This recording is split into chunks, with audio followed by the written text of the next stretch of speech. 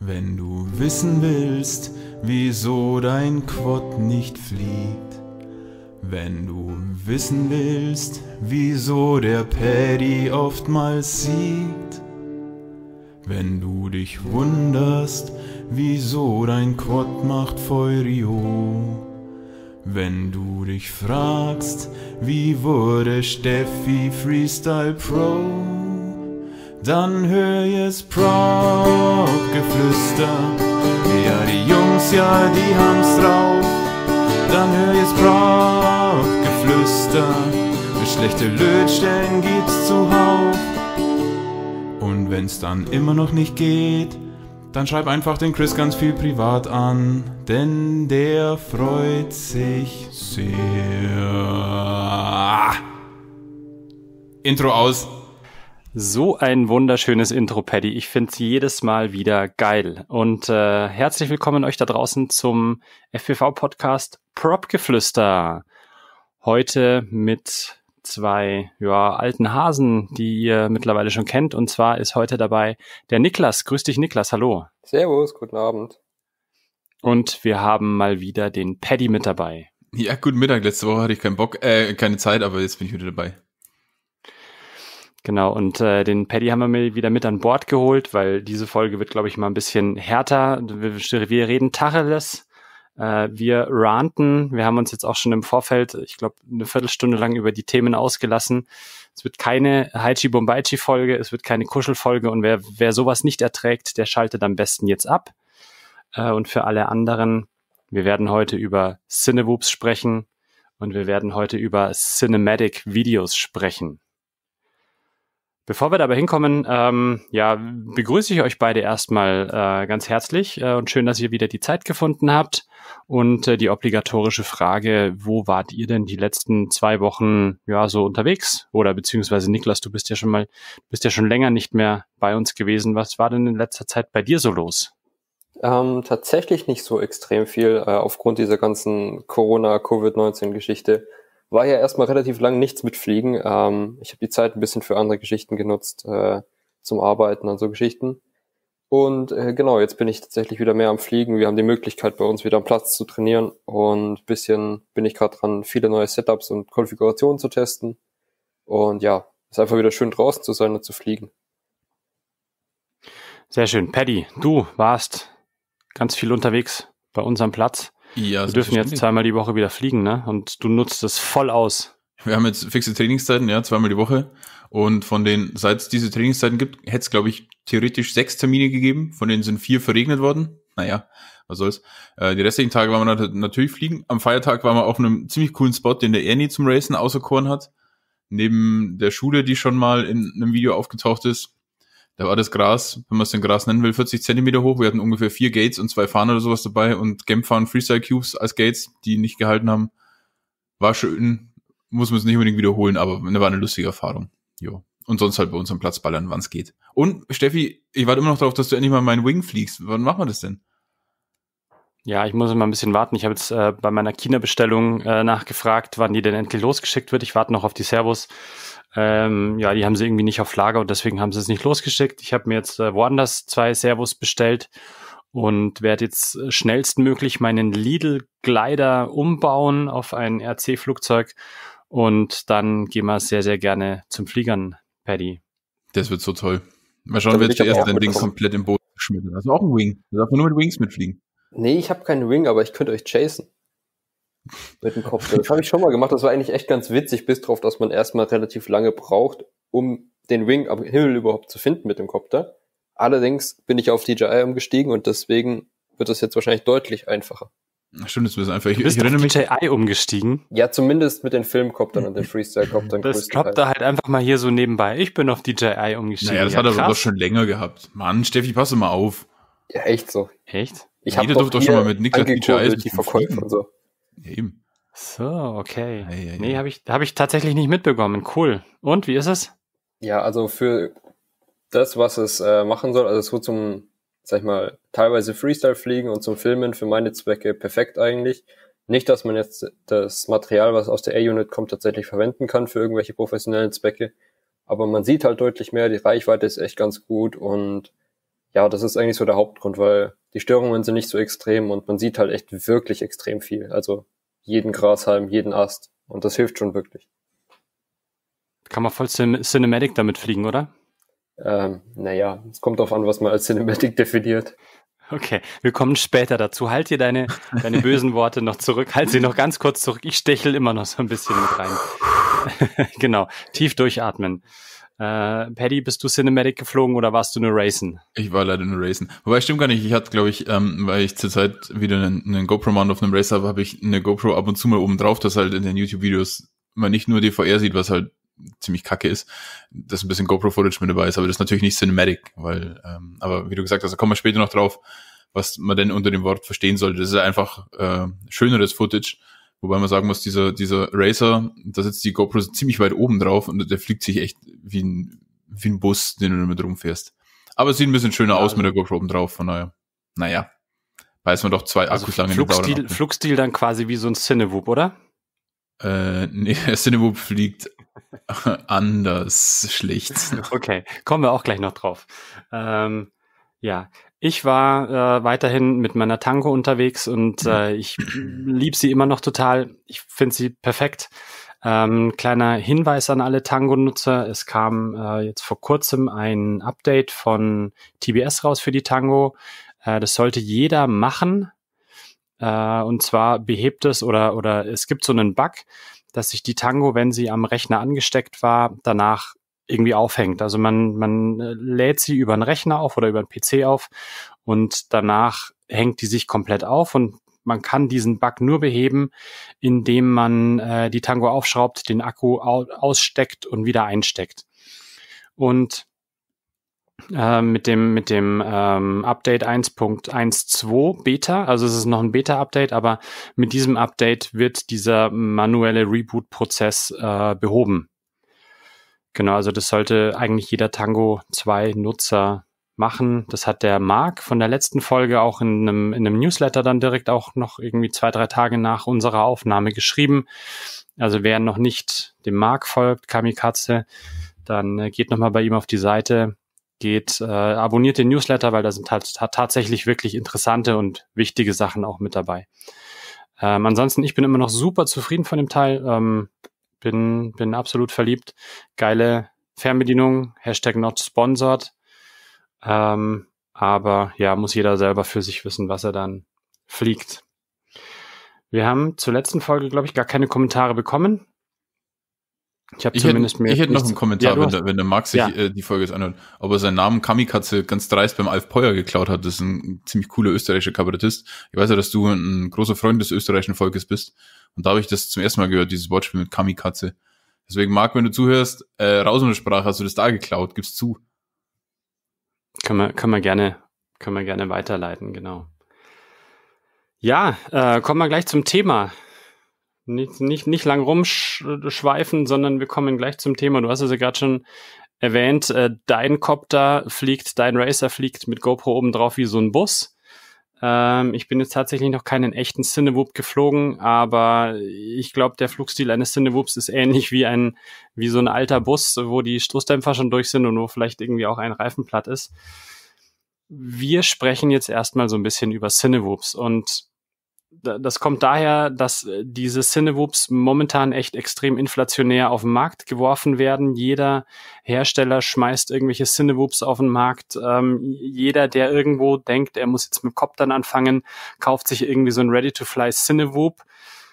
Ähm, was meint ihr? Sind diese Cinewoops wirklich geil, weil man damit super cool ins Hobby einsteigen kann? Man hat diese, diese Propellerschützer mit dran.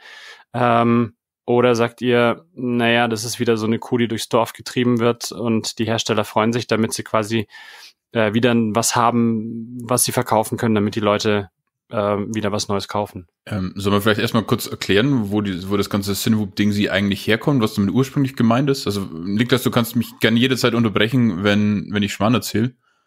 Aber ich habe das Ganze zum ersten Mal in einem Video vom Nörk gesehen, der Paul Nörküler.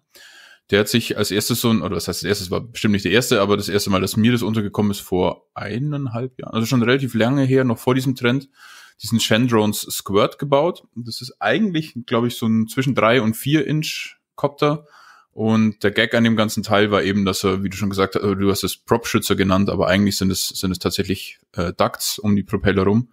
Das heißt, die haben auch äh, Funktionen an dem ganzen Ding, nicht nur die Props schützen, beziehungsweise die Leute vor den Props zu schützen, sondern sollen eigentlich auch Auftrieb mit erzeugen.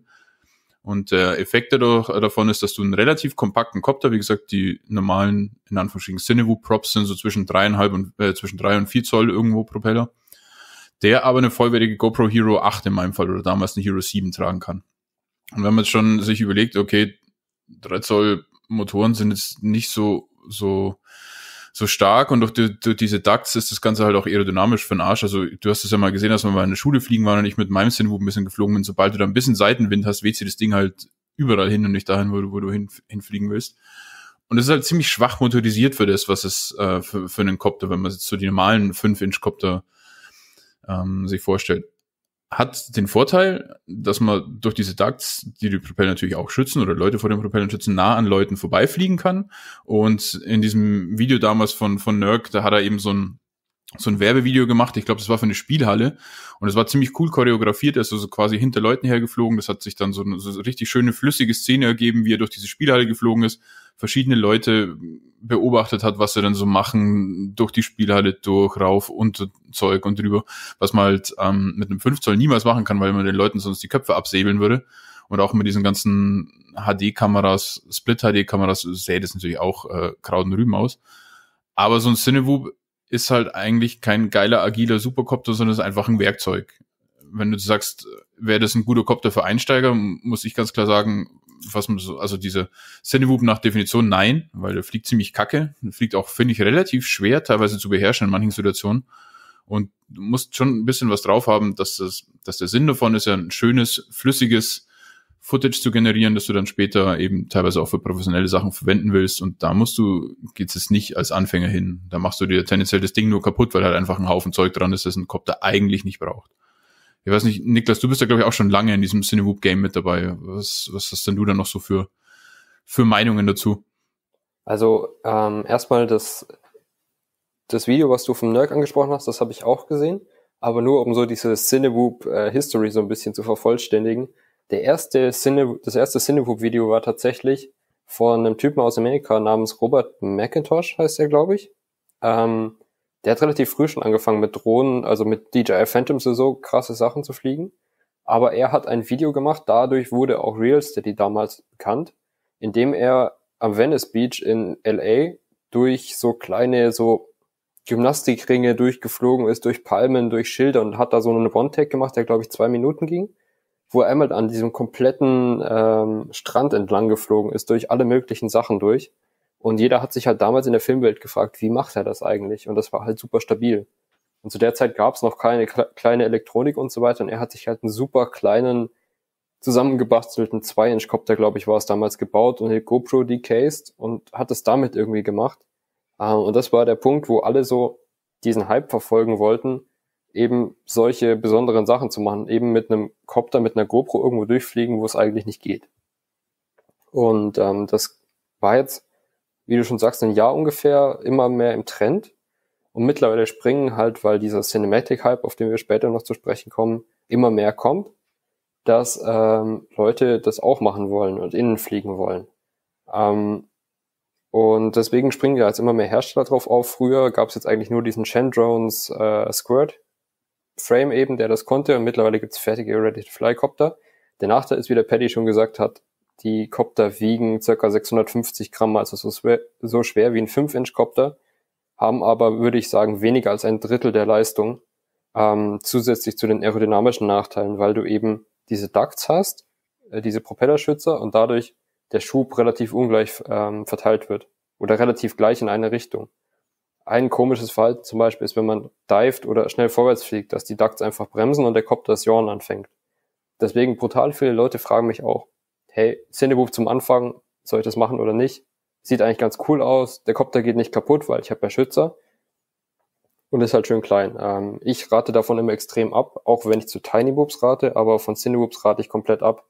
Einfach weil es wirklich, wie der Paddy gesagt hat, nur ein Tool ist für Filmemacher oder professionelle Piloten, um bestimmte Zwecke zu erfüllen. Aber es macht eigentlich keinen wirklichen Spaß zum Fliegen. Aber wenn ich jetzt so ein bisschen mal auf Facebook so die äh, bekannten Gruppen verfolge, wenn ich auf Instagram schaue, ähm, dann sind ja ganz, ganz viele Leute, die, die, die fliegen einfach nur ein Feld entlang. Ich meine, das schaut geil aus, aber dafür haben sie sich jetzt einen Cinewoop geholt. Oder die fliegen äh, einem Auto hinterher oder sie versuchen irgendwie einen, einen Wing zu chasen und, und schaffen es dann einfach aufgrund der aerodynamischen äh, Eigenschaften des Cinewoops nicht. Ähm, sind die alle nur auf so einem Hype-Train mit dabei oder haben die das Spiel nicht verstanden? Also ich fra frage jetzt bewusst provokativ, weil ähm, ich meine, schaut euch mal, schaut euch mal einfach die, auf, auf YouTube die, die, die neuen ähm, FPV-Videos an. Da ist bei jedem zweiten Video in der Videobeschreibung irgendwo oder in, im Videotitel irgendwo Cinematic und Cinewoop mit dabei. Und ich verstehe es halt nicht. Für was brauche ich, um einen Feldweg entlang zu fliegen, einen Cinewoop? Ja, das, ja, das da trifft eigentlich der Satz ganz gut. Äh, Wenn es einfach ist, wird jeder, wird's jeder machen weil es ist halt aktuell einfach, die Dinger zu bekommen und deswegen springt da relativ jeder drauf auf. Also eigentlich sind die Dinger hauptsächlich wirklich gedacht für Indoor-Aufnahmen oder Aufnahmen, wo du nah an Leuten bist und die sonst gefährden würdest. Dazu setzen es auch viele ein, weil diese Fly-Throughs eben beeindruckend sind. Ähm, für gerade für, sage ich jetzt mal, Leute, die nicht aus dem professionellen Bereich, Filmbereich kommen, sind Fly-Throughs sehr, sehr beeindruckend. Ähm, und dafür nutzen es halt viele, weil sagen, es geht halt nichts kaputt. Ähm, jetzt kommt, wie du schon gesagt hast, Stefan, halt der, der Hype, das für Autoaufnahmen zu verwenden, was gleich dreimal keinen Sinn macht. Ähm, aber die Leute denken halt so ein bisschen, dass das eben ein Tool ist, was speziell für Cinematic oder filmische Aufnahmen gemacht ist. Es fliegt sich halt auch sehr ruhig, sage ich jetzt mal. Also es ist zwar schwer zu fliegen, aber es, weil es eben langsam ist und behäbig, fliegt sich halt relativ ruhig und dadurch denken die Leute halt, sie bekommen ruhige Aufnahmen. Aber ähm, ja, man muss halt trotzdem fliegen können und man kann nicht gegen die Physik arbeiten. Das funktioniert nicht. Aber eigentlich könnte ich doch mein, mein 5 Zoll nehmen. Entweder haue ich mir noch ein Throttle Card rein oder ich hole mir mein, mein äh, 5 Zoll 6S Setup und flieg's mit 4S, hau dann noch eine GoPro 7 oder 8 drauf und, und kann doch eigentlich draußen damit besser fliegen. Außer natürlich, ich fliege jetzt irgendwo im Skatepark oder so. Ähm, oder halt, wie du schon gesagt hast, Fly-Throughs oder hinter Leuten oder um Leute rum oder irgendwas. Ich glaube, es gibt Aber sonst macht das doch wenn, wenn Macht das dafür draußen gar keinen Sinn, ja? Hau rein. Es gibt sogar für Beta vielleicht 4.2, weil da kommen komm jetzt nur, fällt mir nur gerade ein, weil ich das letztens erst auf meinem Racer installiert habe und da gibt's hier immer diese Beta Flight Tuning Guides und ich meine, da gibt's jetzt sogar ein Preset ähm, Parametersatz für in Anführungsstrichen Cinematic Flüge, weil dann Pits ein bisschen alles ziemlich entspannt ist und dieses ganze geregelt ziemlich mhm. gemütlich ist. Also ja, genau, wahrscheinlich genau, wäre dann, gibt's. ja, wie du sagst, oder wie der Niklas auch gesagt hat, also für, für groß außen, weit ab von Menschen macht's halt wirklich eigentlich gar keinen Sinn, so einen Stein zu fliegen. Und da muss man halt auch ein bisschen aufpassen. Es ist halt auch wie bei, wie bei Whoops und bei allem. Dieser Name Cinewhoop wird halt auch sehr inflationär verwendet. Ich habe auch schon Copter gesehen, die als Cinewhoops verkauft werden, die halt keine Ducts haben, sondern einfach nur oben und unten so zwei kleine Carbonringe, dass die Propeller ein bisschen geschützt sind. Das ist halt dann eigentlich auch nicht wirklich Cinewoop, aber wenn das Namen komisch verwendet werden, das kennen wir in der Copter-Szene ja sowieso. Ich sag nur Air Mode und, und nicht Air Mode, aber naja. Äh, ganz kurz zum, zum, zu den Betaflight Tuning Notes. Ähm, es gibt tatsächlich, es gibt zwei verschiedene Versionen. Es gibt einmal das HD. Äh, da steht dran, ähm, dass das Feed Forward ein bisschen gesmoothed wird. Uh, strong low turn rate smoothness, low item relax to minimize bounce back, also ein, ein sehr entspanntes Setup. Uh, und dann gibt's noch ein zweites Setup, uh, das du dir reinkopieren kannst und das nennt sich Cinematic. und da steht dann als Beschreibung for slow rate turns may, maybe, may feel a bit dull otherwise. Ja, das, das sagt dann vielleicht auch schon. Ja, das, das ist, halt so der Punkt so ein bisschen, ähm, ja, halt von wegen, ja, viel Filter und wenig Feed Forward und äh, so weiter. Also auch gerade, was man immer online sieht als äh, Cinematic Setup und so weiter, das ist halt alles, da sieht man, dass die Copter extrem überfiltert sind, weil eben auch immer mehr Presets kommen und die Hersteller und Entwickler danach legen, was ich aber, weil es halt einfach eine Nachfrage danach gibt, aber ähm, ganz im Ernst, Leute, ich antworte jetzt mal so provokativ, wie du mich vorhin gefragt hast, Leute, lernt eure Copter einstellen es ist nicht so schwer, Rates zu programmieren, es ist nicht so schwer, so schwer, äh, Feed-Forward richtig einzustellen. Nehmt euch eine Stunde Zeit auf dem Feld ähm, oder fliegt halt einfach um euer Bounce-Spektrum rum. Und ich sag mal, wenn man einen sauber eingestellten Copter hat, dann muss man da kein, sein iTerm Relax oder so nicht umstellen, weil Das musst, musst du vielleicht nur machen, wenn du einen Racer zum Filmen nehmen willst, aber das macht doch eh keiner. Also von dem her, ähm, ist Na, der Paddy macht das. Ja, ja aber das mit Wurscht, wie es ausschaut. Paddy schaut geil aus. ja, der macht einen ND-Filter drauf. Schaut geil aus. Das ist der Profi. Das Cinema Dingo. Cinema Dingo. Ja, wie gesagt, ähm, tatsächlich bei der GoPro von Racer ist mir wurscht, ob der Bounceback oder sonst irgendwas ist. Das, da, da ist ja gerade so dieses, diese rohe Kraft des Racing soll da eingefangen werden. Das ist mir kackegal, ob da jetzt ein bisschen gebobbelt oder sowas ist.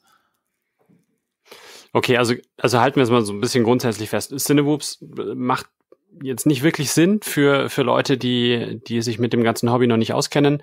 Äh, macht nicht wirklich Sinn als Startkopter oder als Anfangskopter, weil ich kann mir auch vorstellen, ich meine, ich fliege ja, ich fliege ja den, den Meteor 65, das ist ein geiler Kopter, solange du den geradeaus fliegst. Und sobald ich aber irgendwie Flips oder irgendwas mache, dann, dann fühlt er sich total komisch an. Und ich hatte mal den, den Beta 85 mit der Tasir drin. Ähm, mit dem konnte man auch geradeaus super geil fliegen. Aber sobald du ein bisschen dynamischer fliegen wolltest oder ein bisschen, dann, dann hat er, dann hat er sich total komisch angefühlt. Und ich, seitdem habe ich halt so ein bisschen keinen Bock auf irgendwas, was so Propellerschutz um meine Kopter, um, um meine, meine Propeller rum ist. Äh, weil ich mir einfach immer vorstelle, dass das halt auch einfach fürs gerade Fliegen geil, ja, super, aber dann kann ich genauso, ich sage jetzt in 80 90 Prozent der Fälle, die ich so in Videos sehe, die im Internet hier so in, in, den sozialen Medien rumgeistern, kann ich eigentlich auch einen Gimbal nehmen, vielleicht sogar noch irgendwie so einen Selfie-Stick, der vielleicht irgendwie zwei Meter hoch ist, äh, und damit einfach geradeaus rumrennen oder damit ein paar Kurven machen und kriege wahrscheinlich geilere Ergebnisse hin, ähm, als die Leute, die denken, sie machen jetzt geile Cinematic äh, Cinewoop-Aufnahmen und, und fliegen dann da mit ihrem äh, 3 Zoll äh, Bus über irgendwelche Felder drüber. Ja, und das ist der Punkt, wo ähm, ich gerne auch anknüpfen würde, äh, ist halt, wo der, der Punkt ist halt, ist äh, dieser Cinematic-Hype, um das mal schon ein bisschen vorweg anzuschneiden, ist halt dadurch entstanden, dass Leute sehen, dass FPV-Copter für, für professionelle Filmaufnahmen genutzt werden. Und daher kommt auch dieses Wort Cinematic. Ähm, dann haben die Leute gesehen, okay, es gibt Leute, die diese Cinewhoops dafür einsetzen um diese Sachen zu machen. Aber ich würde mal sagen, ähm, ich komme ja auch aus dem professionellen Film-Fernsehbereich. Ähm, für den, in den meisten Fällen, wo aktuell Cinewhoops eingesetzt werden, seien es diese Fly-Throughs und so weiter, wo, sage ich jetzt mal, ambitionierte Amateurpiloten ähm, für professionellen Bereich sowas anbieten oder semi-professionellen Bereich sowas anbieten, würdest du im Normalfall eine sogenannte Steadicam, heißt eine Kamera mit dem Schwebestativ oder einen Gimbal nehmen und damit durch den Raum laufen, weil du kriegst eine bessere Qualität, du hast nicht das Flugzeitproblem äh, und du kannst es viel sauberer steuern. Das ist einfach, macht da keinen Sinn, ein Cinewhoop herzunehmen, wenn du nur geradeaus durch ein Gebäude fliegst. Das wird erst dann interessant, sobald du die dritte Ebene oder besondere Bewegung äh, mit reinbringst. Zum Beispiel so durch ein Auto, durch zwei geöffnete Fenster vom Auto durchfliegen oder sowas, ne, im Autohaus. Ganz genau. Oder wie Nerk das in diesem Video im Museum gemacht hat, eben äh, irgendwie durch so einen Globus ist er, glaube ich, durchgeflogen oder hm. schräg durch mehrere Stockwerke. Dann macht es unter Umständen Sinn. Aber auch dann macht es nur Sinn im, sag ich mal, semi-professionellen Bereich, weil in jedem professionellen, bei jeder professionellen Aufnahme würdest du dafür eine andere technische Lösung finden, weil es einfach ähm, fürs große Gesamtbild mehr Sinn macht. Hm, ja, da gebe ich dir recht. Ähm, wobei ich jetzt sagen muss, dass ähm, ja teilweise FPV-Aufnahmen auch mittlerweile in der Werbung mit eingesetzt werden. Ich sage jetzt mal nicht unbedingt Cinewhoops, aber es gibt jetzt zum Beispiel eine, ich glaube von von Zalando ist es die Werbung.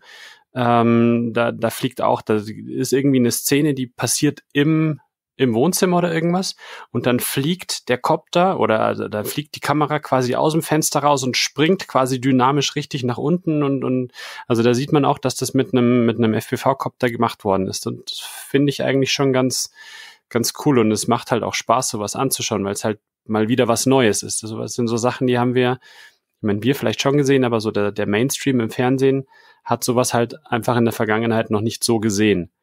Und jetzt kommt halt dann irgendwie der, der, äh, der kleine Mann daher und sagt, hey geil, jetzt mache ich auch mal so ein tolles Video und geil, da gibt's ja eine, einen Cinewoop, den kann ich mir hier gleich klicken für 250 Euro, fertig aus und dann holt er sich das Teil. Ja, da hast du absolut recht. Also gerade auch in dem Zalando-Clip, ich habe nur mal einen Teil davon gesehen. Oder es gibt auch äh, ja andere Cinewoop-Videos, wie das zum Beispiel vom äh, Benoit Fink aus Frankreich mit diesen äh, Kämpfern, dass es einfach mhm. sehr clever, also wenn es für einen bestimmten Zweck, für einen bestimmten Schuss eingesetzt wird, macht das oft Sinn. Ähm, wenn man jetzt zum Beispiel als Beispiel, man sieht, in einem großen Gebäude, in einer Halle läuft eine Person in das Gebäude rein und läuft dann die Treppe hoch. Das sind so Geschichten, wo das oft mit dem Cinewhoop mittlerweile gemacht wird, ähm, nicht im professionellen Bereich, aber von Leuten, das als Beispiel hier, ich fliege Cinematic gezeigt wird. Und in der Realität würdest du dafür eine Steadicam oder einen leichten Kran nehmen, einfach weil das ist ein Konzept, was schon seit Jahren so funktioniert und du kannst halt eine richtige Kamera, Kamera dranhängen. Und ähm, viel, was die Leute hier im, sag ich jetzt mal, Hobbybereich zeigen, was der Einsatzzweck ihrer Meinung nach für den Cinebook ist, sind halt Sachen, die im professionellen Bereich komplett anders gemacht werden.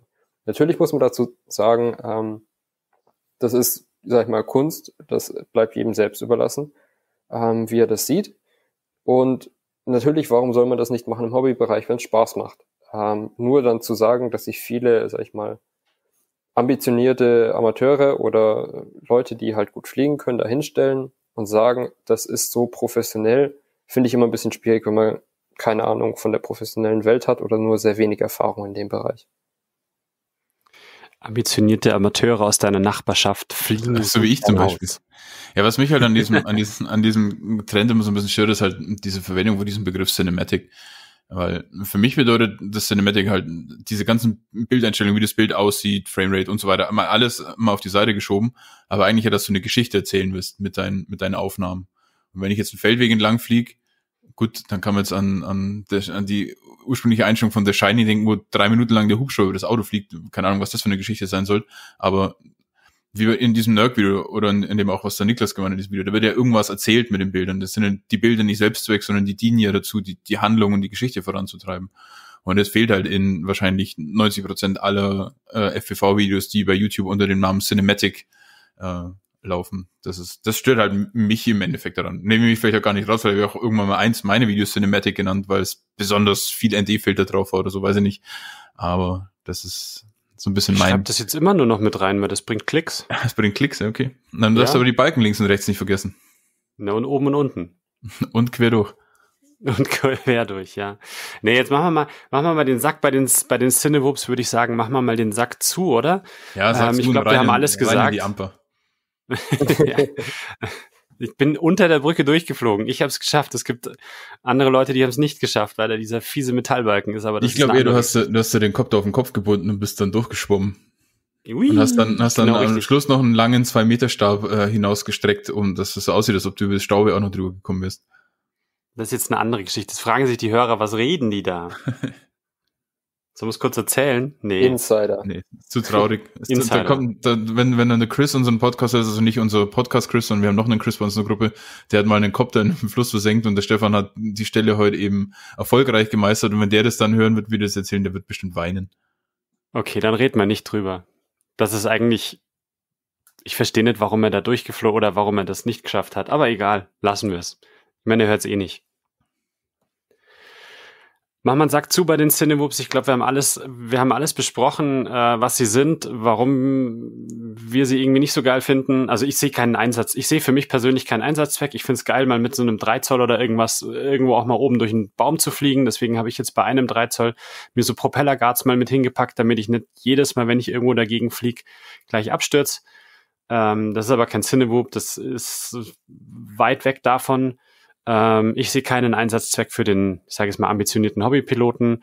Für den Amateurpiloten aus deiner Nachbarschaft ähm, sehe ich keinen Amateur, äh, sehe ich keinen Einsatzzweck eines eines Cinewhoops und ich finde, das ist einfach nur eine, eine neue Sau der Copterhersteller, die durchs Dorf, Dorf getrieben wird, damit da möglichst viele Leute auf diesen Hype-Train aufspringen und sich ja wieder was Neues gekauft werden muss. Man, muss man auch sagen, ne? Ist wieder irgendwie ein neues Produkt. Die Leute müssen was kaufen, die Hersteller müssen ja auch ihr Geld verdienen. Und äh, das haben sie eigentlich ganz, ganz clever gemacht so. Verstehe ich eigentlich gar Wenn, nicht. Die, die, der Coptermarkt ist doch eigentlich sich selbst erneuernder Markt. Das Zeug geht doch am, am laufenden Band kaputt.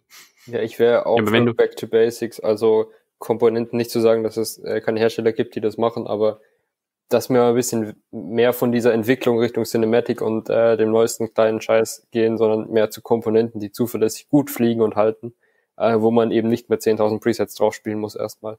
Ähm, da wäre ich persönlich dazu, auch speziell was den Freestyle-Bereich angeht. Ja, aber das, ich glaube, das ist so ein bisschen das, wir öffnen uns mittlerweile immer mehr und mehr dem Mainstream. Ich meine, man merkt das ja auch teilweise an Fragen, die in äh, einschlägig bekannten WhatsApp-Gruppen gepostet werden, ähm, dass halt immer mehr Leute an diesem Hobby teilnehmen, die sich halt nicht mit der Materie befassen und mit einem Betaflight 4.2 ja, da muss ich nicht mal mehr irgendwelche Zahlen eingeben, sondern habe ich meine Schieberegler, die stelle ich in den roten Bereich, da weiß ich, oh, da wird's gefährlich, oder den stelle ich wieder rüber in den anderen Bereich, da weiß ich, da müsste eigentlich soweit in Ordnung sein. Ich glaube, es ist halt immer so ein bisschen die Herausforderung. Entweder bist du absolute Nische und hackst dir halt noch selber deine ganzen Sachen oder schreibst noch deine ganzen Befehle ins, ins CLI. Ähm, oder du gehst halt immer mehr in den Mainstream, hast immer mehr, mehr äh, Dullis, sage ich jetzt mal, mit dabei ähm, und brauchst dann aber halt auch immer einfacheres Setup. Ja, aber da ist der Punkt, ist, also sehe ich voll ein, dass es auch Einfäng anfängertaugliche Sachen geben sollte. Aber wie viele Anfänger Ready-to-Fly-Sets, die tatsächlich gut funktionieren, ohne dass man die Leute dafür, davor warnen muss, Leute geht erstmal ins Beta-Flight und checkt alles durch. Gibt's denn? Weil zum Beispiel diese ganzen Bind and Fly Copter musst du dir überall immer einen Sender dazu kaufen. Und äh, das ist halt genau irgendwie ein Stück weit der falsche Weg. In die Anfänger reinzubringen auch. Und dieses 4.2 ist ja alles super, aber dann kommst du wieder, hast der RPM-Filter, dann hast du vielleicht keinen kompatiblen ESC.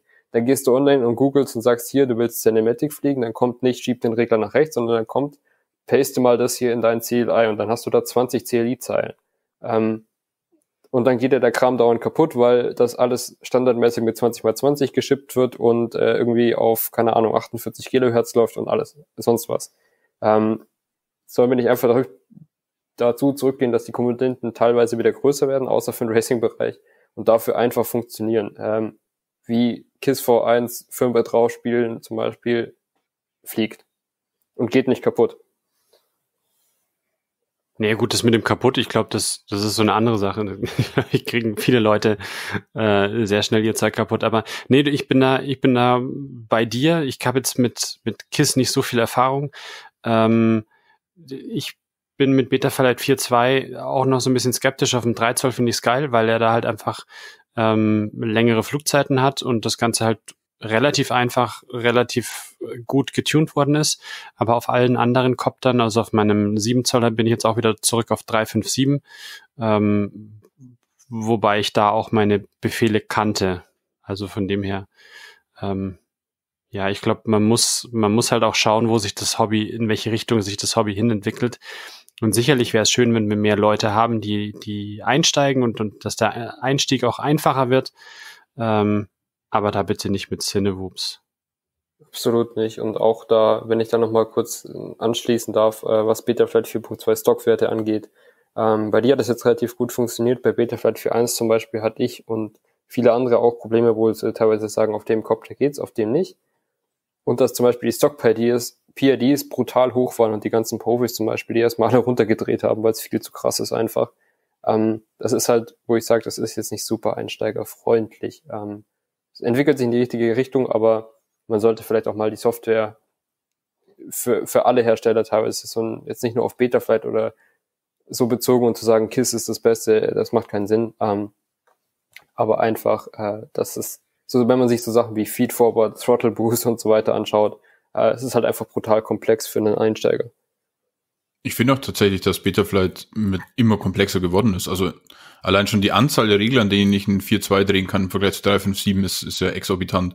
Und gerade wie du sagst, als Einsteiger, öh, dreht das mal hier und schau, was passiert, keine Ahnung. Also vielleicht sollte der Betaflight auch erstmal sagen, okay, wir bieten das zwar alles an, aber dafür müsste ich erstmal den Super Advanced Mode aktivieren und diese Preset, die es jetzt gibt, die biete ich halt äh, einfach mit einer Dropdown-Liste oder sowas an. Dann kann ich halt noch Rates einstellen, aber äh, weiß es nicht. Ich glaube, da, was man auch dann wieder so in WhatsApp-Gruppen und, und Facebook und sowas liest, ich glaube, da gibt es viele Leute, die statt zu fliegen einfach sich kaputt theoretisieren, welchen Wert in Betaflight jetzt noch links und rechts drehen sollen, dass der Kopter vielleicht besser fliegt.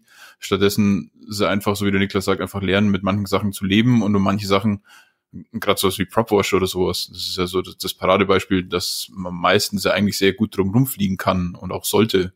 Also, hm, weiß ja, nicht. Schauen wir mal, wo Beta vielleicht da noch hingeht. Aber nicht mit, aber nicht mit Cinewhoops. Ja, ja, gut, mit Cinewhoops. Ja, noch sagen, rumfliegen. Ähm, ja, hier, keine Ahnung, ich habe Propwash in der Kurve, weil du das gerade als gutes Beispiel angesprochen hast. Ähm, dabei liegt es einfach teilweise nicht unbedingt am Tune oder sonst was, äh, sondern eventuell einfach am Piloten teilweise. Weil man muss halt auch gewisse Sachen, klar, einmal umfliegen, wenn es Probleme gibt. Auf der anderen Seite muss immer noch der Pilot die Steuerbefehle machen und das stimmt schon, was, was du da sagst. Ähm, Paddy, die Leute theoretisieren sich in vielen Fällen leider einfach kaputt, anstatt einfach rauszugehen mit einem Basic Tune, Basic Copter und fliegen erstmal. So. Wie sind, wir, wie sind wir jetzt eigentlich von Thema Cineboop machen wir jetzt, Ich wollte gerade sagen, wir sind jetzt vom, vom Cineboop, weil der Cineboop scheiße fliegt und dann sind wir auf schlecht fliegen gekommen und Propwash und wenn Propwash ist, einfach mehr Gas geben hilft immer. Und jetzt würde ich sagen, schwenken wir um zum anderen großen Buzzword, was äh, momentan irgendwie nicht mehr aus den sozialen Medien rauszuholen äh, ist, äh, und zwar Cinematic. Nein, er hat es wirklich angesprochen, oh mein Gott. Dun, dun, dun. Ja, ich habe es ausgesprochen. Warte mal. Ich habe hier, ich habe hier so eine geile Soundbox. Cinematic. Ach, diese Soundbox. Saugeil, die erinnern mich, als du das erste Mal dabei bist, das war so schön. Das war so schön, gell? Ja. Ähm, Paddy, du hast die, die Cinewoops so toll zusammengefasst. Möchtest du dich nochmal an das Buzzword Cinematic wagen? Äh, äh, Oder hast du keinen Bock mehr? Äh, doch gerne. Hayden kann ich immer. Ich glaube, was in FPV-Kreisen für Cinematic gehalten wird, ist immer eine gewisse Art, wie das Bild aussieht. Also diese belächelten Streifen oben und unten, das kommt halt einfach daher, weil man Cinematic natürlich kommt von äh, cineastisch und wie sieht's denn im Kino aus, beziehungsweise hat man auch dann so ein bisschen dieses Breitbildformat, deswegen macht man Streifen oben und unten hin bei nicht anamorphischen Objektiven, dass das dann so aussieht, als ob es so schön Breitbildformat wäre. Das ist das eine, was man da dann ganz ganz sieht und dann ähm, was wir auch schon besprochen haben, ist, ist diese weiche Bildführung. Das heißt, man will nach Möglichkeit nicht, dass das Bild irgendwo wackelt, dass das Bild irgendwo abgehakt ist, äh, abgehackt, nicht abgehakt. Ähm, versucht dann möglichst weiche Kurven zu fliegen, versucht das Ganze möglichst stabil wirken zu lassen, was dann, glaube ich, im FPV-Bereich häufig mit Hypersmooth voll aufgerissen oder Real Steady versucht wird zu erreichen. Und wenn man dann noch eine Stufe weitergeht bei den in Anführungsstrichen semi semi cineastischen Superpiloten, beziehungsweise ähm, macht es tatsächlich auch Sinn, dass dann ND-Filter verwendet werden, das heißt wie so eine kleine Sonnenbrille für die Kamera, weil Niklas, da dass du mich natürlich gerne wieder aus der Welt der Haus äh, Halbwahrheit herauskicken. Ähm, Belichtungszeiten sollten auf Kameras eigentlich immer so ungefähr doppelt der Framerate gewählt werden. Da gibt's dann, wenn man googeln will, die 180-Grad-Regel bei Filmkameras und auf äh, Digitalkameras sieht es dann im Endeffekt genauso aus. Damit kriegt man dann eine schöne Bewegungsunschärfe hin, wie man es ja eben auch aus, in Anführungsstrichen, professionellen Produktionen gewohnt ist. Also gutes Beispiel, wenn man zum Beispiel den, den Hobbit, die Hobbit-Filmreihe im Kino gesehen hat, in einem Kino, das das konnte. Normalerweise Kinofilme sind in 24 Frames, beziehungsweise, glaube ich, NTSC ja, so ein Dreh, also ungefähr 24 Frames die Sekunde. Und der Hobbit hat mal gedacht, geil, wir machen das mal alles ein bisschen besser und machen 48 Frames. Ich glaube wahrscheinlich, weil das in 3D dann irgendwie besser funktioniert oder so, keine Ahnung wieso genau. Und das sieht man dann sehr deutlich, da wirkt die Bewegung alles ein bisschen abgehackter und wenn es dann noch weiter geht, dann sieht es so ein bisschen aus wie so auf so, auf so Heimcamcordern, wie eben äh, damals der, der creepy Onkel den Kindergeburtstag gefilmt hat. So sieht das Ganze dann aus. Genau, aber das eben dann mit der Framerate im Zusammenspiel mit der Belichtungszeit von der Kamera ähm, eben dann genau die richtige Zeit eingehalten werden kann von der Kamera, braucht eben in hellen Situationen die Kamera so eine kleine Sonnenbrille, deswegen kommt dann ND-Filterchen drauf und dann sieht das Ganze schon ein bisschen, ein bisschen verwaschen aus bei schnellen Bewegungen, sieht dann sehr angenehm aus, bügelt dann auch nochmal kleine Unfeinheiten im Tune aus und zack, fertig ist das Cinematic-Video, einfach ND-Filter drauf, ähm, Belichtungszeit aufs doppelte Framerate, Balken oben und unten hin, und dann am besten noch die alle Johnny Lats drauf, die man sich gekauft hat. Obwohl man die GoPro nicht auf Flat gestellt hat, ist egal. Alle Johnny Lats drauf und dann ist gut. Dann hast du Cinematic. Also ich habe ich hab, ich hab mal ähm, einen, einen äh, Podcast eine Zeit lang gehört, da ging es um Fotografie und das war so die Zeit, wo die ganzen HDR-Fotos rausgekommen sind, wo die Handys angefangen haben, HDR aufzunehmen, beziehungsweise wo dann auch die, die Spiegelreflexkameras HDR aufgenommen haben. Und ähm, da hat er, der eine immer so schön gesagt, das schaut aus wie Clownkotze. Und äh, das ist gerade, wenn du die Aufnahme der GoPro oder der Actioncam nicht auf Flat hast und dann noch irgendeinen LUT draufschmeißt oder irgendwie nachher noch irgendeinen Filter oder irgendwas, das teilweise schaut es dann echt schrecklich aus. Und es erinnert mich immer wieder an dieses Wort Clownkotze. Ähm, Aber ich wollte jetzt eigentlich gar nicht so weit äh, dazwischen reden. Ich habe schon gesehen, der Niklas hat sich zwischendrin gemutet. Ich glaube, der hat einfach mal ganz fies die Wand angeschrien. ähm, weil, weil ich glaube, er als Profi ähm, könnte, glaube ich, im Strahl kotzen, wenn er immer mal wieder sieht oder hört, was die Leute für Cinem als Cinematic verkaufen oder, oder auch als Cinematic halten. Oder Niklas, wie schaut's da bei dir aus? Ja, ich habe jetzt tatsächlich nicht die Wand angeschrien, aber äh, ja, du hast absolut recht. Also das, was bin ich auch nicht alleine. Ähm, das, was da aktuell nicht nur in der FPV-Szene, sondern auch mal in der normalen Kamera Spiegelreflex-Szene Szene als ähm, Cinematic verkauft wird, ist echt der Wahnsinn und das ist halt oft, ähm, ja, da werden Tatsachen und Fakten verwaschen und nicht ganz richtig dargestellt. Das, was der Paddy da richtig ges gesagt hat, ist halt, ja, filmischer Look zum Beispiel, jetzt mal ganz kurz zusammengefasst, sind 24 Frames immer und ist eigentlich immer das, die, die, der Shutter, heißt die Belichtungszeit der Kamera, ist immer das Doppelte der Framerate ungefähr. Der Punkt ist aber, dass wird angewendet für normale Aufnahmen, heißt Filmkameras ähm, mit normalen Bewegungen. Der Punkt ist aber, wir sind keine normalen Filmkameras und wir machen auch keine normalen Bewegungen. Dieser Punkt der Bewegungsunschärfe kommt daher, dass das Doppelte der Framerate, was die Belichtungszeit angeht, um mal kurz technisch zu werden, ungefähr der natürlichen Belichtungszeit unseres Auges entspricht. Heißt, wenn du die Hand vor deinem Auge schnell hin und her bewegst, siehst du einen natürlichen Verwischeffekt. Und wenn man das Doppelte seiner Kamera-Framerate nimmt, kommt es ungefähr dem natürlichsten Look, sage ich mal, hin. Nachdem aber so ein Copter deutlich schneller ist als, äh, sage ich jetzt mal, eine normal bewegende Kamera, sieht es halt oft, je nachdem wie es eingesetzt wird, relativ doof aus. Wenn man zum Beispiel beim Freestyle-Fliegen äh, einen Shutter von 180 Grad hat, dann sieht es meistens ziemlich doof aus, vor allem bei 24 Frames, weil man halt außer Verwischeffekten nichts mehr sieht. Und dass sich da viele semi-professionelle Leute an, ähm, sag ich mal, Fakten aus dem Filmbereich bedienen, die aber auf einen komplett anderen Bereich angewendet sind, ist halt ein bisschen doof, weil es irgendwie, ja, keine Stützung der Argumente hat. Ähm, ich kann nicht Äpfel mit Birnen vergleichen. Und dieses, dieses Cinematic Word, was da halt viel äh, verwendet wird, ähm, das sind halt, wie der Paddy gesagt hat, viele ruhige Aufnahmen, äh, viel geradeaus fliegen, ähm, weil halt die Leute denken, dass es filmisch wirkt und für Filme gut passt. Der Punkt ist aber, wieso FPV so bekannt geworden ist, ist wegen den einzigartigen Perspektiven. Und gerade ausfliegen ist mittlerweile auf der einen Seite nicht mehr einzigartig, auf der anderen Seite kann man das mit der Inspire genauso gut machen. Ähm, als Beispiel auch Autos chasen oder was auch immer chasen, einfach geradeaus hinterm Auto herfliegen. Ähm, das konnten die Leute im Film- und Werbefilmbereich schon vor zehn Jahren. Die sind, haben einfach ein zweites Auto genommen, sind hinterhergefahren. Dafür brauche ich keinen FPV-Copter. Und das ist halt das, wo die Leute leider aus dem aktuell, aus dem Freestyle-Bereich von ein, zwei, von vor ein, zwei Jahren, wo jeder coole neue Tricks gemacht hat und so, mittlerweile in diesen Cinematic-Bereich gehen und sagen, ja, ich fliege geradeaus, das ist anspruchsvoll. Natürlich ist es nicht einfach und es sagen alle, sie wollen in diesen professionellen Bereich rein oder viele sagen es einfach, aber es hat auch mit dem professionellen FPV-Film, hat dieses Cinematic geradeausfliegen nichts zu tun. Und da sollten die Leute einfach, also wer Spaß am Fliegen haben will, rausgehen, Freestyle fliegen, Spaß haben. Aber das sind da verschiedene Bereiche, die nicht richtig miteinander, die da einfach miteinander vermischt, mehr, vermischt werden. Und ähm, ja, also wird, ist einfach ein bisschen overused und äh, ist nicht mehr einzigartig leider. Jetzt hast du alles zerstört. Jetzt habe ich alles zerstört. Jetzt kann ich auch nicht mehr. Jetzt werfe ich meine ja, ND-Filter so, wieder weg. Ja, jetzt schmeiße ich meinen ND-Filter wieder weg, jetzt mache ich die Balken von meinen Videos wieder weg. Jetzt mache ich wieder irgendwelche Freestyle-Tricks und fliege nicht einfach nur geradeaus den Berg hoch oder runter.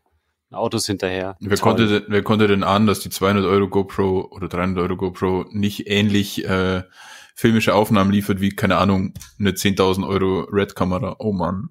Und bevor wir, da jetzt, bevor wir da jetzt einen Haufen Hate drauf bekommen, ähm, ich glaube, weder, also weder ich noch ihr wollt sagen, dass es falsch ist wenn da jemand Bock drauf hat, das zu machen, oder dass wir das nicht tun sollten, äh, ruhig durch die Gegend zu fliegen mit einem ND-Filter und Croppers.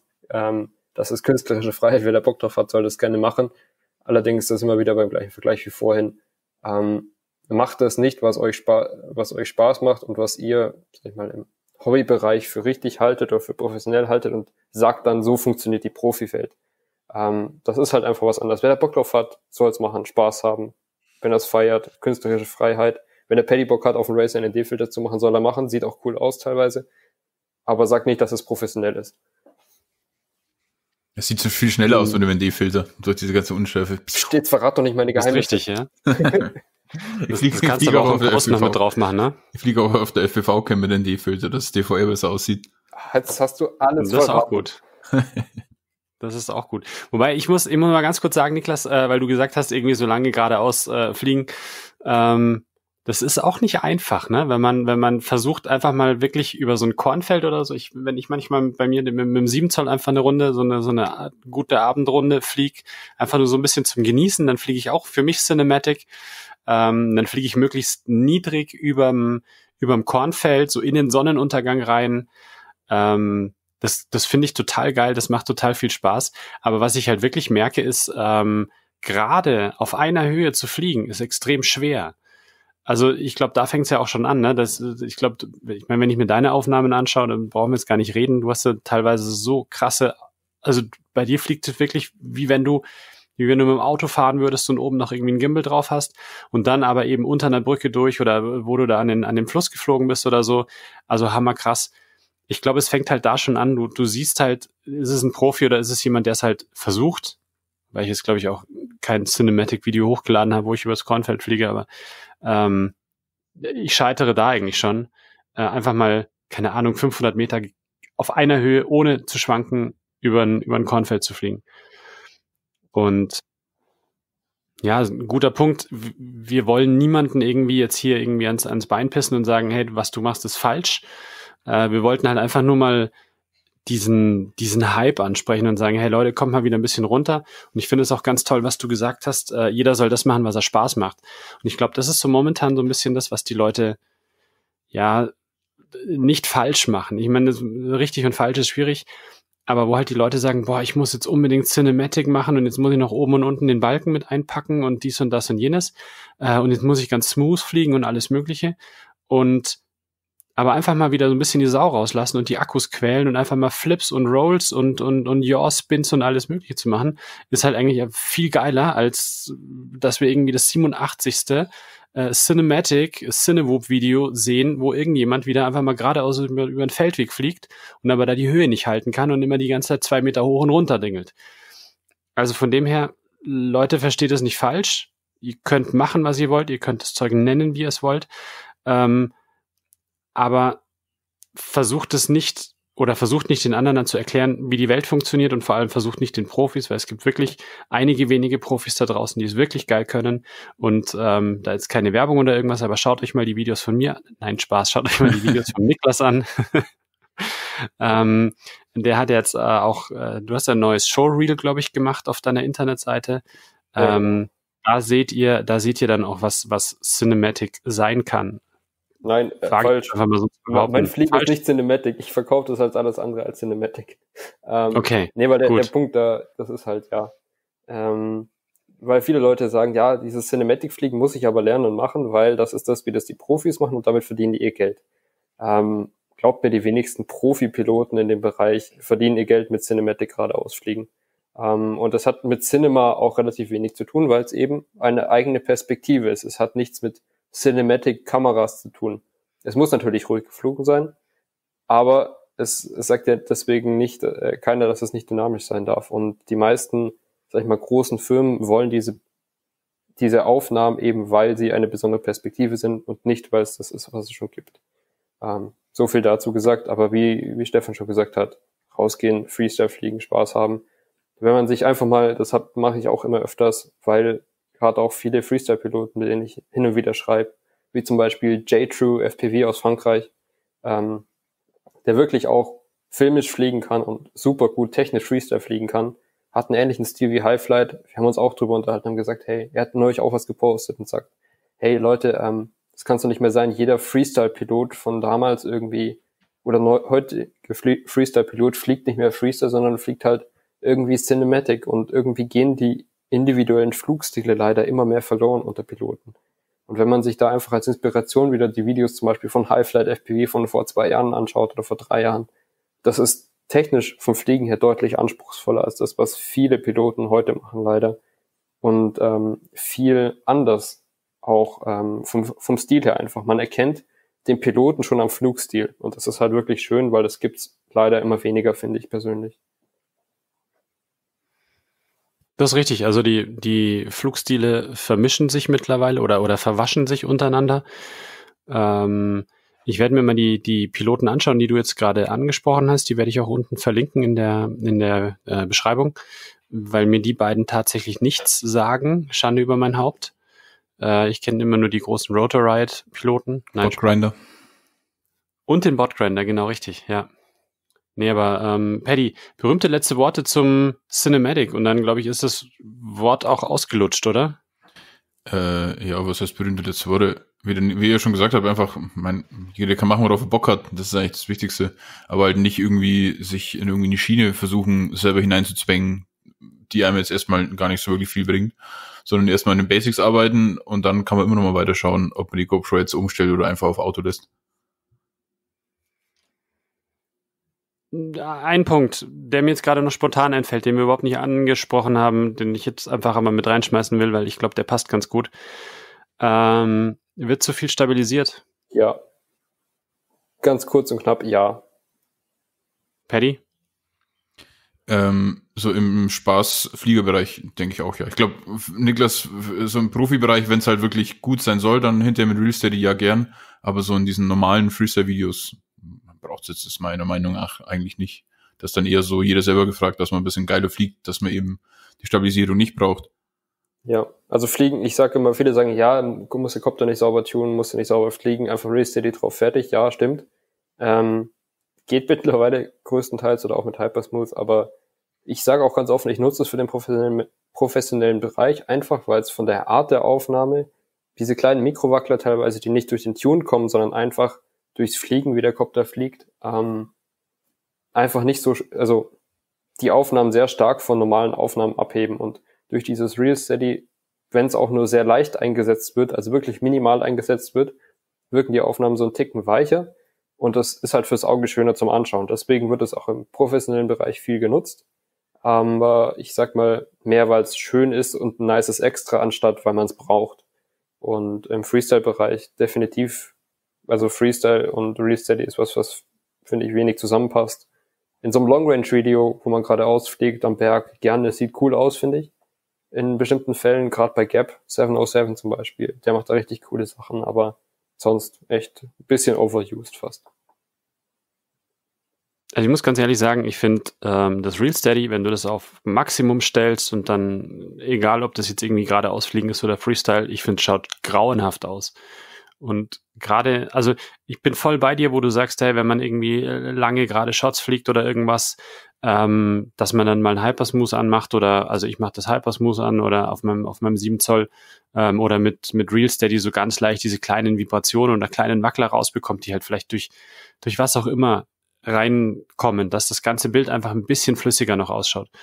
Ähm, aber alles andere, finde ich, schaut schrecklich aus und ich glaube, das macht auch so ein bisschen, dass, dass alle Leute denken, ja geil, ich habe mir jetzt 5 Zoll oder ich habe mir jetzt ein Cinewoop gekauft und jetzt haue ich mir dann noch eine GoPro 8 drauf oder ich hole mir Real Steady. Am besten noch die, die Leute, die dann fragen, wo kann ich ein Real Steady umsonst runterladen? Und die dann denken, sie haben hier die, die geilsten Aufnahmen, weil sie irgendwo durch den Wald geflogen sind und das Ganze halt dann auch noch so verzogen ist, weil irgendwann siehst du es ja, glaube ich, bei Real Steady auch, dass, dass halt das ganze Bild sich so ein bisschen vermorft oder halt dann auch zu, zu verzogen ist. Ähm, also ich finde, das geht gar nicht. Und gerade bei Freestyle-Videos einfach einen sauberen Tune vom Copter, keine Stabilisierung mit drauf, gib ihm. Allerschönste, was man anschauen kann. Ja, da habe ich neulich tatsächlich in der Facebook-Gruppe in amerikanischen ein Video gesehen, wo einer seinen ersten, seinen Maidenflug gepostet hat. Erster Flug, neuer Kopter aufgebaut, erster Flug mit dem Kopter. Und ich weiß nicht, wie es bei euch ist, aber ich kenne so noch die Videos, wo man so fliegen war abends irgendwie auf dem freien Feld, seine ersten Flip gemacht hat, dann einfach so total verwackelt das DVR gepostet hat und in der, in der Facebook-Gruppe und gesagt hat, hey cool, schaut mal Leute, ich habe heute den ersten Flip geschafft, so. Und sein Video war halt einfach, ähm, sein, sein Maiden-Video war mit Real Steady stabilisiert. Und ähm, Real Steady ist, wie du schon sagst, in der Standardeinstellung sehr stark eingezoomt, sehr stark stabilisiert. Und ich finde es so ein bisschen schade, weil so einfach diese, dieser Charakter kaputt geht vom FPV-Fliegen so ein bisschen. Und ähm, ja, ich finde, da sollte man einfach das so ein bisschen zurückbringen. Und gerade so am Anfang ist es doch schön zu sehen, was der Pilot, wo seine Stärken liegen, äh, wo die Stärken nicht liegen. Und ich finde, da kann man auch ganz offen sagen, es muss ja nicht jeder super smooth, super sauber fliegen. Ähm, es geht doch um den Stil vom Piloten. Und wenn der ein bisschen, äh, ja, sag ich mal, aggressiver ist oder nicht, ähm, ist doch schön. Ich meine, mehr Unterschiede sind besser, das macht es interessanter, das Ganze. Ich finde es schön, dass du sagst, weil ich habe auf meinem YouTube-Kanal quasi von Anfang an auch schon immer mitgefilmt und das ist eigentlich genauso wie du sagst, also das das sind so die ersten, ersten Rollen, die ersten Flips, wackel, wackel und du siehst auch Tune vollkommen egal, aber halt einfach wackelige Finger, wackeliges Gefliege. Und ich finde, das sieht man halt auch, dass man selber dann doch irgendwo mal ein bisschen besser geworden ist, wenn man sich mit heutigen Aufnahmen vergleicht. Das, weiß nicht, wenn man von Anfang an stabilisiert, nimmt man sich vielleicht selber so ein bisschen die, das Potenzial, besser zu werden. Ja, das stimmt. Man sieht halt auch, also nicht nur, wie man als Pilot, äh, sag ich mal, so sich weiterentwickelt, sondern auch einfach, wie ähm, man lernt mit der Technik umzugehen. Der Copter wird sauberer gebaut, man findet vielleicht ein besser Prop-Motor-Kombo, dann werden die Flips sauberer. Man hat einen anderen Sender, man sieht direkt, derjenige fliegt sauber. Also so war es bei mir zumindest, als ich von meinem alten Anfängersender auf was Besseres umgestiegen bin und so Sachen.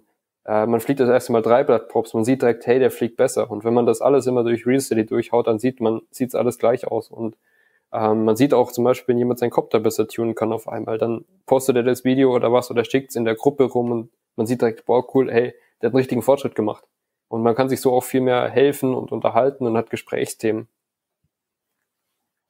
Wahrscheinlich merkt man den, den, den Progress ähm, von einem, wenn man Real Steady verwendet, einfach mit welchem Grad an Real Steady man, man äh, die Videos nachbearbeiten muss. Ja, das kann natürlich auch sein, aber schwieriger Vergleich. Nee, das war nur Spaß. Ja. Nein, nein. Also ich bin da, ich bin da voll bei euch. Ähm, ja, ich finde es auch schön, mir alte Videos anzuschauen von vor zwei Jahren oder so, wie schrecklich ich da geflogen bin. Und ich dachte damals schon, ich bin der König. Und äh, macht ja auch Spaß. Das ist ja genau das, was man, was der, was der Paddy auch gerade gesagt hat. Einfach mal beim Paddy so die, die ersten Videos anschauen, wo er dann in der Lechenau noch fliegt, so die ersten Gates fliegt oder so und jetzt anschauen, was, was jetzt ist. Und das kann man ja quasi dann auch hochrechnen auf in fünf Jahren. Da wird er immer noch nicht besser fliegen, aber. Weiß ich nicht, die Kurve flacht, glaube ich, glaube ich, irgendwann ab. genau, richtig. Nee. Wir können ja mal eine Challenge machen und einfach auf dem Munich FPV Instagram-Kanal von jedem von uns eine neue und eine alte Aufnahme innerhalb von einer Minute posten. Sei es Racing oder Freestyle. Eine alte DVR und eine neue DVR. Dann müssen die Leute ähm, entscheiden, was alt und was neu ist, oder? Nein, aber einfach um so den Progress zu sehen, weil das, was wir die so, so Diskussion, ja. die wir jetzt gerade angestoßen haben für die Community, auch einfach, ich meine, wenn ich jetzt ins Hobby einsteigen würde, ich würde auch jetzt nicht unbedingt was, sag ich mal, meine blutigen Anfänge posten, wahrscheinlich, wenn man die ganzen Real City-Geschichten oder saubere Videos oder so sieht. Aber einfach, ja. dass die Leute auch wieder sich, glaube ich, ein bisschen mehr trauen, weil ich kenne auch viele Anfänger, die dann sagen, ja, weiß nicht, aber weißt du, bei dem sieht das so sauber aus und so cool und das kann ich doch nicht posten, das interessiert doch keinen. Doch, klar. Ich meine, wir sind eine große Community. Habt Spaß. Das ist echt eine coole Idee. Ähm, Paddy, schaff mal, oder? Ja, klar. Wie gesagt, bei mir ist eh alles online. Da kann man schon mal was rausziehen und was Neues daneben, daneben hauen. Das wird schön. Der, der gläserne Paddy. Dann sieht man alles online bei dir. Alles, jeden Wackler. Nichts zu verbergen, nichts zu verbergen. Jeden kleinsten Wackler. Ja, schön. Ähm, jetzt sind wir fast eine Stunde lang nur am Hayden und nur am Ranten. Es ist, glaube ich, echt heftig für euch da draußen, wenn ihr, wenn ihr jetzt noch dran seid. Ähm, wir haben, also grundsätzlich war es uns einfach mal, oder wollten wir einfach mal diese Themen Cinematic und, und Cineboop ansprechen ähm, dass nicht jeder Hype-Train irgendwie super cool ist. Und das sage ich als äh, TBS-Fanboy, der sich jeden geilen Shit immer wiederholt. Ähm, dabei fällt mir auf, Paddy, haben wir eigentlich schon den, den Fortschritt unserer Fusion-Module angesprochen. Unverändert. Die liegen immer noch in, in Hongkong, glaube ich, oder in Singapur. In Singapur, glaube ich. Ich habe mir mittlerweile noch äh, ein, ein, ein Micro, Crossfire Micro bestellt. Ähm, Das war ja irgendwie letztens im Sale für 30 Dollar, weil man wofür brauchst, du den, nämlich, du, wofür brauchst du den, wenn du schon eine Tango hast? Weil ich mein Brüderlein jetzt sponsern muss. Mhm. Der fliegt noch Free Sky. Fiesen ja, Profit wirst du rausschlagen. Und da dachte ich mir, naja, für 30 Euro so ein Micro V1, warum, warum nicht, ne? Brüderlein, wenn du das hörst hier, kannst dich freuen, kriegst ein Micro V1 von mir. Ähm, aber das ist übrigens schon, das ist schon weiter, das ist schon verschippt worden. Ich glaube, es kommt sogar aus demselben Lager, keine Ahnung. Ähm, aber das ist, glaube ich, irgendwie in fünf, sechs Tagen ist es bei mir. Nur mal so nebenbei. Ähm, ja, genug gerantet. Ähm, ich würde sagen, wir machen heute einen Sack zu. Wir machen jetzt äh, mal die obligatorische Stunde. Die haben wir voll. Wollen euch nicht länger nerven. Äh, es gibt noch eine Sache, die mir so ein bisschen am Herzen liegt, oder was heißt am Herzen liegt. Ähm, wenn ihr da draußen jetzt bis hierher zugehört habt und ihr das Ganze über Spotify oder iTunes gehört habt, dann habt ihr hoffentlich ein Abo schon dagelassen. Ähm, das hilft uns so ein bisschen, auch mal ein bisschen die Reichweite zu messen, mal zu sehen, wo stehen wir wie. Ähm, wenn ihr bis hier zugehört habt und kein Abo auf einem dieser beiden Kanäle habt, dann macht es doch einfach, weil äh, es würde uns einfach ein bisschen helfen, da eine größere Zahl dahinter stehen zu haben, ähm, damit vielleicht irgendwann mal irgendwo Aufmerksamkeit zu erregen bei irgendjemand, der uns dafür, ja, ich sage jetzt mal nicht Geld geben möchte, aber ein bisschen unterstützen möchte, weil ich muss auf der anderen Seite auch dazu sagen, ich meine, wir machen das hier komplett, ja, zahlen wir alles aus eigener Tasche. Wir haben jetzt hier so eine tolle neue Recording-Software und seitdem klingen wir auch alle viel geiler. Die wollen auch ein bisschen Geld von uns pro Monat haben. Und äh, wenn man da irgendwie mal in Zukunft auf, einen, auf eine schwarze Null kommen würde, dann wäre das ziemlich cool. Ähm, ansonsten vielen Dank fürs Zuhören. Ich hoffe, eure Ohren bluten nicht zu sehr vor lauter Rants. Und ähm, wollt ihr noch was loswerden, Paddy, Niklas? Noch einmal jetzt hier ins Mikrofon schreien, Niklas. Cinematic. Auf geht's. Nein, nein, ich kann nicht. Oh. Nein, Spaß. Aber ähm, ja, ich glaube, da sind so ein paar Sachen dabei, die vielleicht einfach mal äh, gesagt werden mussten, dass es mal jemand anspricht. Ich glaube, es geht vielen Piloten ähnlich oder viele Piloten überlegen, ähm, was sie davon halten sollen. Ähm, und deswegen eine ganz coole Runde, dass wir das hier so angesprochen haben. Und ähm, ja, vielleicht bewirkt es ja irgendwas. Äh, und vielleicht äh, denkt der eine oder andere Pilot ja ähnlich und genau. Genau, schreibt uns auch mal, wenn ihr das ähnlich seht oder wenn ihr sagt, hey, ihr habt überhaupt keine Ahnung hier von Munich FPV. Ähm, ich bin hier der geile Cinematic Cinewoop Pilot und wenn ich über einen Acker baller mit meinem Cinewoop, dann ist das das Allergeilste, vor allem wenn ich es mit 30 Frames per Second aufnehme und dann auch noch verlangsame. Ne? Stotter. Das ist Niklas, glaube ich, gerade vom Stuhl gefallen. ja, genau. Nein, ähm, wie gesagt, wie wir jetzt, glaube ich, alle mehrmals gesagt haben, äh, macht das, wo ihr zu ihr Spaß habt, egal was es ist. Und genau, habt Spaß beim Fliegen.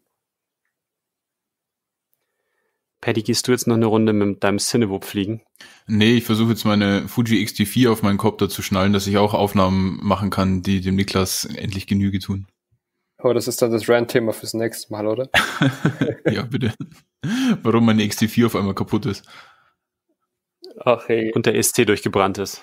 Das hält ja schon aus. Die wiegt nur zwei Kilo mit Objektiv.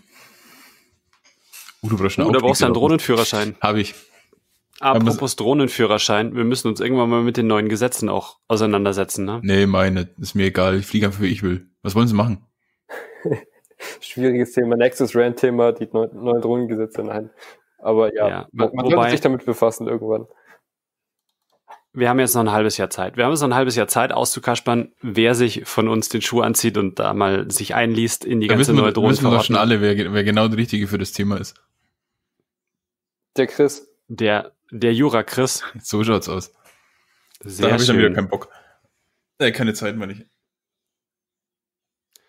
Ja, also das Thema wird auf jeden Fall kommen. Wenn ihr irgendwie andere Themen, äh, Wünsche habt, Themenvorschläge habt, ähm, dann schreibt uns das auch einfach. Ähm, einfach irgendwie in die Kommentare irgendwo unter eine Folge. Wir posten es auf Social Media oder auch auf unserer Internetseite einfach einen Kommentar mit dalassen. Ansonsten, wie gesagt, lasst uns ein Abo da. Das würde uns sehr helfen, einfach die Reichweite ein bisschen zu vergrößern. Und ansonsten sage ich vielen Dank euch beiden. Danke, Niklas, dass du mal wieder dabei gewesen bist. War schön wieder mal mit dir zu podcasten mal deine professionelle Medienmeinung wieder zu hören. Und Paddy, vielen Dank, dass du uns mit deinen wunderbaren Worten beglückt hast. Ja, sehr gern. Sehr gerne. In diesem Bis zum Sinne, nächsten Mal. genau, in diesem Sinne wünsche ich euch einen schönen Abend und bis zum nächsten Mal. Ciao. Bald. Tschö. Sweet,